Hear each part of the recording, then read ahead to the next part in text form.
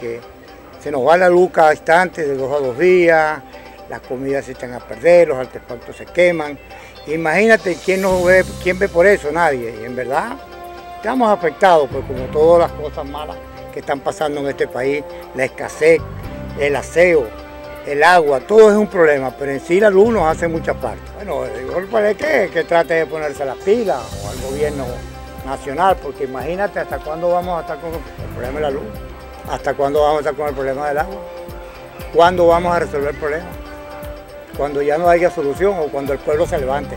Tampoco estoy haciendo un llamado al pueblo para que se levante, pero el pueblo tiene que levantarse de una manera, de alguna manera, porque imagínate, hasta cuándo vamos a aguantar Tampoco me van a llamar eh, una revolución que quiera tumbar el gobierno, no, no, no.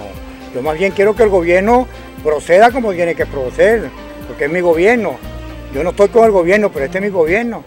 Yo soy venezolano y ese es mi presidente. Aunque yo no voto por él ni voy a votar por él nunca, pero es mi venezolano. Y yo tengo que reconocer que un venezolano de presidente es mi presidente. Pero también quiero que él haga algo por la patria, porque no es nada más que puro bailes y fiestas y borriquitas, como lo están haciendo ciertas personas aquí en el estado. ¿Hasta cuándo vamos a estar bailando con flores en la cabeza? ¿Qué es lo que está pasando? Entonces vamos a tratar de solucionar el problema del país. Y tanto el estado sufre también.